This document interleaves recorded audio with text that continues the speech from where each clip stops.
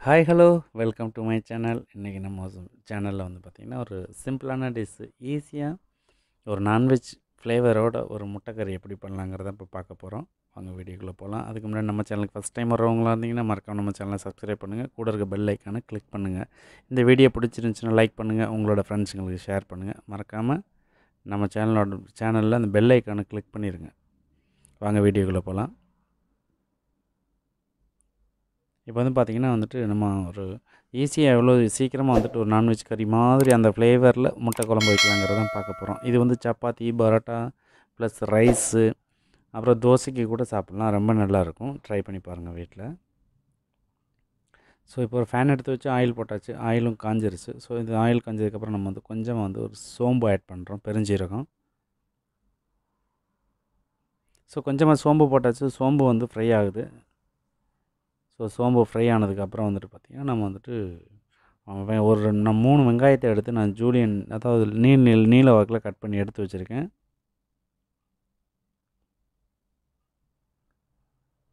So இது இப்போ அதில் நம்ம அதை ஆட் பண்ணிக்கிறோம் வெங்காயத்தை.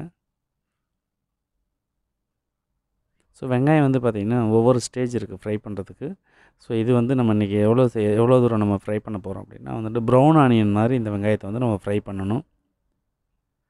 ப்ரௌன் ஆனியன் அது வந்து பிளாக் ஆகிடக்கூடாது பிளாக்கான கசக்கும் ப்ரௌன் ஆனியன் இனிக்கும். ஸோ இதில் ரெண்டு வித்தியாசம் இருக்குது வெங்காயத்தில் ஃப்ரை பண்ணும்போது.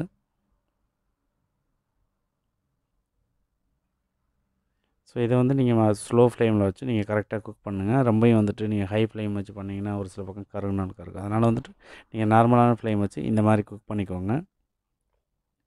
ஸோ இப்போ வந்துட்டு நமக்கு ஒரு சிக்ஸ்டி பர்சன்ட் இது வந்து ப்ரௌன் ஆனியனாக ஸ்டார்ட் ஆகிடுச்சு ஸோ இதுக்கப்புறம் வந்து பார்த்திங்கன்னா சீக்கிரமாக குக் ஆகிடும் ஸோ அதனால் என்ன பண்ணணும்னா இந்த ஸ்டேஜ் வரும்போது நம்ம ஒரு ஸ்பூன் இஞ்சி பூண்டு பேஸ்ட் ஆட் பண்ணிக்கலாம்.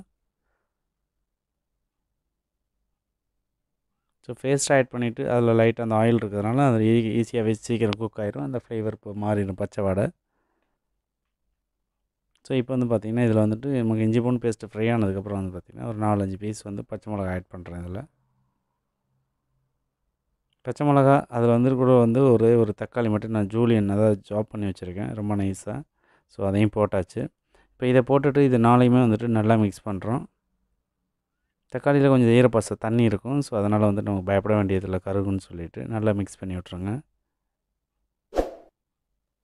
இந்த தக்காளியில் உள்ள தண்ணியெல்லாம் குறைஞ்சதுக்கப்புறம் வந்துட்டு என்ன பண்ணுறீங்கன்னா நீங்கள் வந்துட்டு ஒரு கொஞ்சமாக ஒரு கிளாஸ் வந்துட்டு நீங்கள் வந்து இதில் வந்துட்டு வாட்டர் ஆட் பண்ணணும்.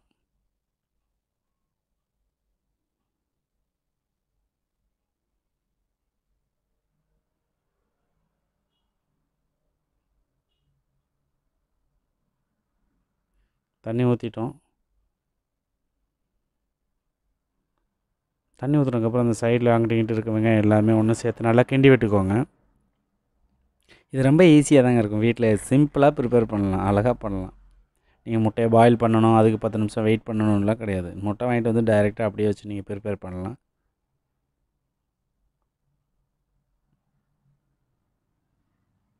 இப்போ வந்து பார்த்திங்கன்னா ஒரு செடியை வந்துட்டு மஞ்சத்தூள் போட்டிருக்கேன். மஞ்சத்தூள் லைட்டாக எதுக்குமே ஆட் பண்ணிக்கோங்க எந்த டிஷ்ஷாக இருந்தாலும் சரி நான்வெஜ்ஜில் ஒரு டீஸ்பூன் வந்துட்டு நம்ம மிளகாத்தூள் போட்டிருக்கோம்.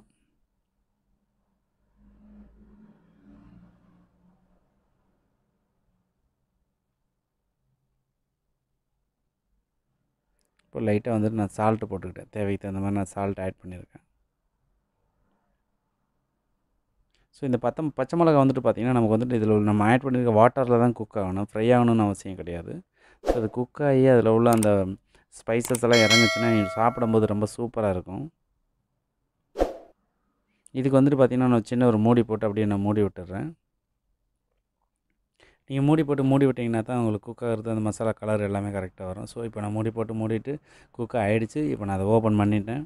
பாருங்கள் எப்படி இருக்குன்னு சொல்லிட்டு. தண்ணியெல்லாம் வற்றிடுச்சு ஸோ இந்த டைம் வரும்போது தான் நம்ம வந்துட்டு இதில் எக்கை ஆட் பண்ண போகிறோம் இப்போ முட்டை போடும்போது நீங்கள் எப்பயுமே வந்து பார்த்தீங்கன்னா எக்கை உடச்சி ஊற்றும் போது நீங்கள் வந்துட்டு ஆயில் ஃப்ளேம் இது சாரி அடுப்போட ஃப்ளேமை கம்மி பண்ணி வச்சுட்டு அதுக்கப்புறம் நீங்கள் வந்துட்டு முட்டை உடச்சி ஊற்றுங்க உங்களுக்கு எத்தனை எக்கு வேணுமோ அது ஆளுக்கு எத்தனை பேர் இருக்கீங்கன்னு அதுக்கு தகுந்த மாதிரி கணக்கு பண்ணிவிட்டு நீங்கள் பண்ணுங்கள் நான் இதில் வந்து பார்த்திங்கன்னா நான் ஒரு மூணு எக்கு உடச்சி விட்றேன். நாங்கள் ரெண்டு பேர்த்துக்கு தான் சமைச்சோம்.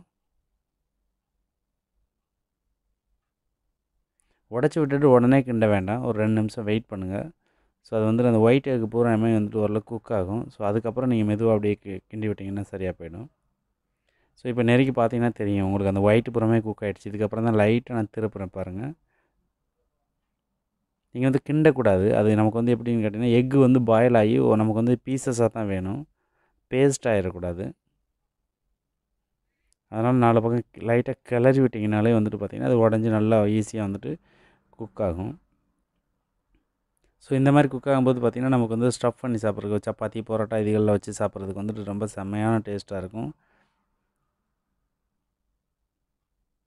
ஸோ இந்த ப்ரௌன் ஆனியன் ப்ளஸ் அந்த மசாலா இந்த பாயில்டு எக்கு இந்த இது மூணும் மிக்ஸ் பண்ணி நம்ம அந்த ஒரு இப்போ ஒரு இதுவாக சாப்பிட ஸ்டஃப் பண்ணி சாப்பிடும்போது அல்டிமேட் டேஸ்ட்டுங்க வீட்டில் ட்ரை பண்ணி பாருங்கள் நீங்கள்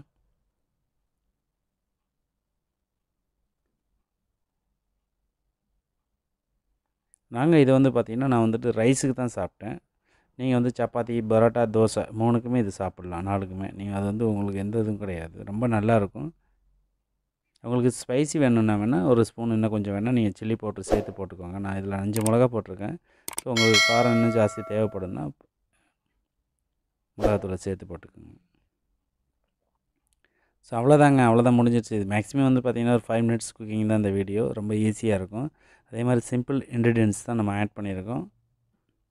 ஸோ இது அப்படியே ஒரு பிளேட்டுக்கு சேஞ்ச் பண்ணிவிட்டு நம்ம அப்படியே சர்வ் பண்ணிக்க வேண்டியதான் ஒரு கலர் பார்த்தீங்கன்னாலே தெரியும். எக்கெல்லாம் குக் ஆகிடுச்சு நல்ல ஸ்மெல் வருது. சரியான டேஸ்ட்டாக இருக்குது நீங்கள் வீட்டில் ட்ரை பண்ணி பார்த்துட்டு இதே மாதிரி சாப் சமைச்சு பார்த்துட்டு என்ஜாய் பண்ணுங்கள் ஸோ இந்த வீடியோ பிடிச்சிருந்துச்சின்னா இந்த வீடியோக்கு ஒரு லைக் பண்ணுங்கள் மறக்காமல் சேனலை சப்ஸ்கிரைப் பண்ணுங்கள் இந்த இந்த டிஷ்ஷை பண்ணி முடிச்சுட்டு உங்களோட ஃபீட்பேக்கை என்னோடய கமெண்ட் செக்ஷனில் மறக்காமல் கமெண்ட் பண்ணுங்கள் தேங்க்யூ தேங்க்யூ ஃபார் வாட்சிங் நாளைக்கு இதே மாதிரி இன்னொரு நல்ல ஒரு ரெசிபியோடு வந்து நான் உங்களை மீண்டும் சந்திக்கிறேன். நன்றி வணக்கம். பாய் பாய்